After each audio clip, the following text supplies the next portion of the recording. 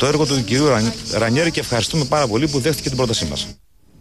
Να αλλάξουμε κλίμα και να δούμε τον Ντίρ Καρνάζη, τον 52χρονο υπερμαραθωνοδρόμο ελληνικής καταγωγής, που θα έρθει για δεύτερη φορά στη χώρα μας για να συμμετάσχει στον αγώνα Ναβαρίνο Challenge.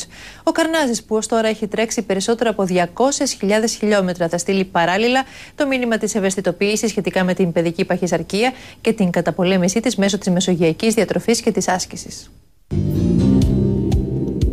Αυτός είναι ο υπεράνθρωπος. Έχει τρέξει συνεχόμενα 560 χιλιόμετρα για τρία μερόνυχτα χωρίς ύπνο, αλλά και 50 μαραθωνίους 50 διαφορετικών πολιτιών της Αμερικής, έναν κάθε μέρα. Είναι ο Ντίν Καρνάζης, ο Κωνσταντίνος δηλαδή, ελληνικής καταγωγής με πατέρα από την Αρκαδία και μητέρα από την Ικαρία.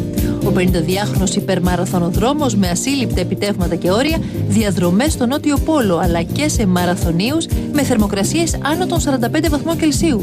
Τώρα το Σεπτέμβριο θα τρέξει στο Ναβαρίνο Challenge στην Καλαμάτα και το Κώστα Ναβαρίνο και θα είναι ο πρεσβευτής της σπουδαίας διοργάνωσης. When I come back to Greece, I feel like I'm finally at home. I feel very at ease. Uh, with myself, uh, with the environment and, and with the people.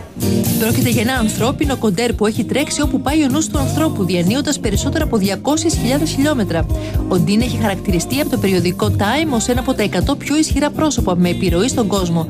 Πρόκειται για έναν βιονικό υπεραθλητή που έχει οθήσει το σώμα αλλά και το μυαλό του σε ασύλληπτα όρια.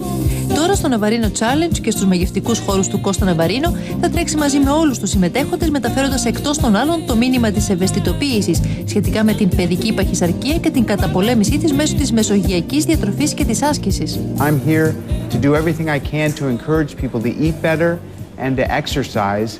You can't tell people eat better and exercise unless you yourself eat better and exercise. So I try to set a good example. Στην υπέροχη αμμουδιά του Κώστα Ναβαρίνο, δύο μήνες πριν τους αγώνες, ο υπερμαραθωνοδρόμος έκανε αυτό που συνηθίζει. Έτρεξε δηλαδή, αλλά και θαύμασε το παραθαλάσσιο τοπίο της Μεσογείου. Μετά το Ναβαρίνο Challenge θα επικεντρωθεί στο νέο του στόχο, να τρέξει μέσα σε ένα χρόνο ένα μαραθώνιο σε κάθε χώρα του κόσμου. 204 countries in one year period. So go on a global expedition in one year time and run a marathon in every single country. Στο πλευρό του Ντίν θα τρέξουν Ολυμπιονίκες αλλά και κόσμος που θα θέλει απλώς να συμμετάσχει. Μαζί του και η κορυφαία γυμνάστρια πιλάτες Μάντι Περσάκη που και αυτή θα μεταφέρει το μήνυμα για άθληση και σωστή διατροφή.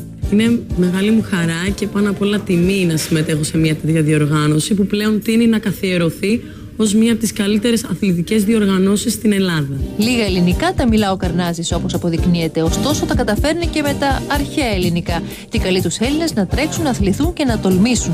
O Tomon Nika. Who dares wins. So please dare come join me at the Navarino Challenge and we run together.